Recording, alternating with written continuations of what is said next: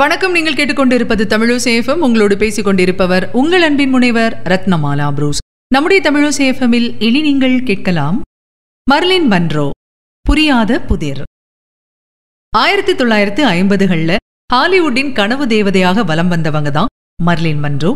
உலக புகழ்பெற்ற அமெரிக்க நடிகையும் பாடகியுமான இவங்க பல புதிர்களுக்குள் தன்னை ஒழிச்சு வச்சவங்க அப்படின்னு சொல்லலாம். ஏன்னா தன்னுடைய இறுதி நாட்கள்ல போதைப் பொருட்களுக்கு அடிமையாகி குடும்ப பிரச்சனைகளால அவதியுற்று முப்பத்தாறு வயசுல தற்கொலை பண்ணிக்கிட்டாங்க. இவங்க தற்கொலை செஞ்சிட்டாங்க அப்படிங்கிறது அதிகாரப்பூர்வமாக அறிவிக்கப்பட்டாலும் கூட அவங்களோட மரணம் இன்னைக்கும் மர்மமாகவே புரியாத புதிராகவே இருக்குது அப்படின்னா அது மிக கிடையாதுங்க. அப்படி என்னதான் நடந்தது மர்லின் மன்றோடைய வாழ்க்கையில? உலகின் அழகு அவதாரமாக திகழ்ந்த மர்லின் மன்றோ பத்தி தான் இன்னைக்கு நம்ம பார்க்க போறோம். உலக சினிமா ரசிகர்களின் கனவுகளில் உலா வந்த எழில் தேவதையான மர்லின் மன்றோ அமெரிக்காவின் லாஸ் ஏஞ்சல்ஸ்ல ஆயிரத்தி தொள்ளாயிரத்தி இருபத்தி ஆறாம் வருஷம் ஜூன் ஒன்னாம் தேதி பிறந்தாங்க. எல்லார மாதிரியும் அவங்களுடைய இளமை காலம் அப்படிங்கறது இனிப்பானதா இல்ல. பதினாறே வயசுல அவங்களுக்கு திருமணம் அதுக்கப்புறம் விவாகரத்து அப்படின்னு சொல்லி தொடர்ந்து தோல்விகள் தான் அவங்க வாழ்க்கையில இருந்தது. மர்லினின் பிறப்புக்கு முன்னாடியே அவங்களுடைய தந்தை இறந்து போயிட்டாராம். தாயும் நோய்வாய்ப்பட்டு இருந்திருக்காங்க. இதனால அனாதை விடுதியில் சேர்க்கப்பட்டிருந்திருக்காங்க மர்லின் மன்றோ.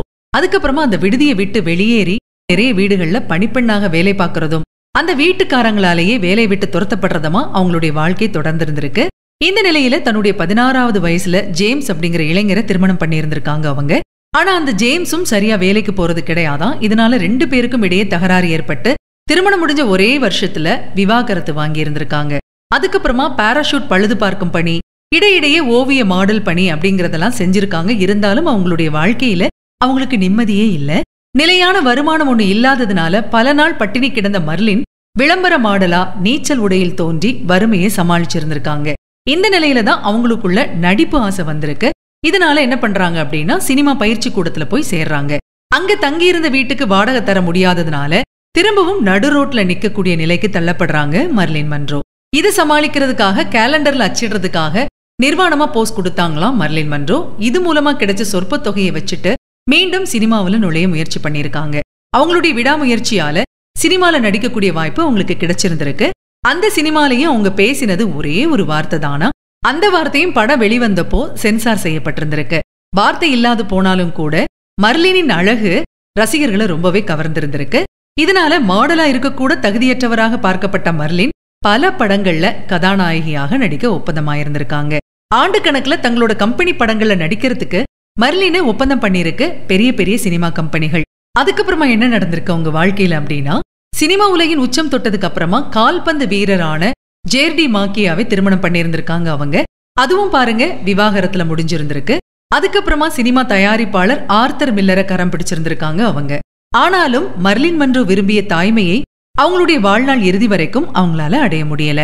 இந்த நிலையில தான் மர்லின் மன்றோவுக்கு மனநிலை பாதிக்கப்படுது. தொடர் சிகிச்சை கொடுக்கப்படுது. அது மூலமா மீண்டும் பழைய நிலைக்கு திரும்பினாலும் கூட படப்பிடிப்புக்கு ஒழுங்கா வர்றதில்ல அப்படின்னு சொல்லி சில படங்கள்ல இருந்து அவங்கள நீக்கியிருக்காங்க. அதுவும் ஒரு பட தயாரிப்பாளர் நஷ்ட ஈடு கேட்டு மர்லின் மீது வழக்கு தொடுத்திருந்திருக்காரு. இதனால மர்லினின் மனநிலையில் இருந்து வந்த உற்சாகம் குறைஞ்சி போகுது. அதுக்கப்புறமா அந்த பட தயாரிப்பாளருக்கும் அவங்களுக்கும் இடையே உடன்பாடு ஏற்பட்டிருந்திருக்கு. மர்லின் நடிக்க இருந்த அந்த படத்தின் படப்பிடிப்பு மீண்டும் தொடங்க இருந்திருக்கு. அந்த நேரத்துல தாங்க ஒரு அதிர்ச்சி செய்தி உலகம் முழுக்க உள்ள மர்லினின் ரசிகர்களை உலக்கிச்சு. ஆயிரத்தி தொள்ளாயிரத்தி அறுபத்தி ரெண்டாம் வருஷம் ஹாலிவுட்ல இருக்கக்கூடிய மாளிகை ஒண்ணுல தங்கியிருந்த மர்லின் மன்றோ கட்டில்ல மயங்கி கிடந்திருக்காங்க. இத பார்த்து அவங்களுடைய வீட்டு வேலைக்காரர் மருத்துவர்களுக்கு தகவல் கொடுத்திருந்திருக்காரு. உள்பக்கமா பூட்டியிருந்த மர்லினின் படுக்கை அறை கதவை உடைச்சு உள்ள போன மருத்துவர்களுக்கு அதிர்ச்சி காத்திருந்தது. ஏன்னா கையில டெலிபோனோட பல மணி நேரத்துக்கு முன்னாடியே இறந்து போயிருந்தாங்க மர்லின். அளவுக்கு அதிகமான தூக்க மாத்திரைகளை உட்கொண்டு தற்கொலை செய்து கொண்டு அவங்க கடிதம் எதுவும் எழுதி வைக்கலையாம் அதனால அவங்க ஏன் இறந்தாங்க அப்படிங்கிறதுக்கான காரணம் கிடைக்கவே இல்ல. இன்னைக்கு வரைக்கும் அவங்களுடைய தற்கொலை புரியாத புதிரா தான் இருக்குது. தன்னை விரட்டி அடித்து தெருவில் நிறுத்தியவங்க மத்தியில பணம் கொளிக்கக்கூடிய நடிகையாக திகழ்ந்த மர்லின் ஏனோ தன்னுடைய வாழ்வை வெறும் முப்பத்தாறு வயசுலேயே முடிச்சிட்டாங்க. மர்லின் மன்றோவின் நடையழகு உடையழகு சிகையழகு சிரிப்பழகு அப்படின்னு சொல்லி உலக ரசிகர்களை அவங்க பக்கம் இழுத்துச்சு அப்படின்னா அது மிகை கிடையாதுங்க. இவங்கள மாதிரி இனி ஒரு நடிகை வரவே மாட்டாங்க அப்படின்னு நினைக்கிற அளவுக்கு அவங்களுடைய புகழ் உச்சத்துல இருந்தது. தி செவன் இயர் இட்ச் அப்படிங்கிற திரைப்படத்திற்காக எடுக்கப்பட்ட மர்லின் மன்றோவின் ஒளிப்படம் ரொம்பவே பிரசித்தி பெற்றது. இந்த படம் சிறப்பாக அமையறதுக்காக பதினாலு முறை ரீடேக் எடுக்கப்பட்டதாகவும் இரவு ஒரு மணிக்கு எடுக்கப்பட்ட காட்சி நிறைவு பெறதுக்கு மூணு மணி நேரம் ஆனதாகவும் சொல்றாங்க. மர்லின் மன்றோ பற்றி ஒரு ஆச்சரியமான சம்பவமும் சொல்லப்படும். அமெரிக்க முன்னாள் அதிபர் ஜான் எஃப் கென்னடி மற்றும் ராபர்ட் கென்னடியுடன் இணைத்து பேசப்பட்டாங்க அவங்க. ஆயிரத்தி தொள்ளாயிரத்தி ஐம்பதுகளில் பலருக்கும் கனவு தாரகை தன் கவர்ச்சியால் மட்டும் இல்லாம காந்த குரலாலும் எண்ணற்ற பாடல்களையும் பாடி கின்னஸ் சாதனை பண்ணவங்க தான் மர்லின் மன்றோ.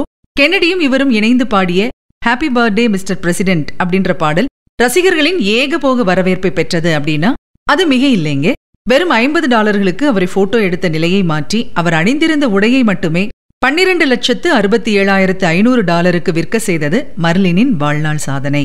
ஹாலிவுட் ஒரு பெண்ணின் முகத்திற்கு ஐம்பதாயிரம் டாலர்களும் அவளுடைய மனத்திற்கு வெறும் ஐம்பது சென்ட்டும் தரக்கூடியது அப்படின்னு சொல்லி ஹாலிவுட் ஜாம்பவான்களை திரும்பி பார்க்க வைத்தவர் அந்த நம்பிக்கை நாயகி.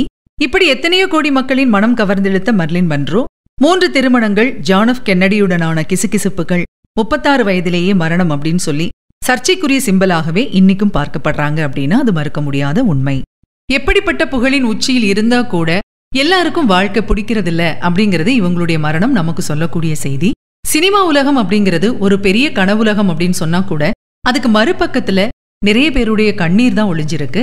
அதை யாராலும் புரிஞ்சிக்கவே முடியாது அப்படிங்கிறது தான் இவங்க வாழ்க்கை சம்பவம் நமக்கு சொல்லுது.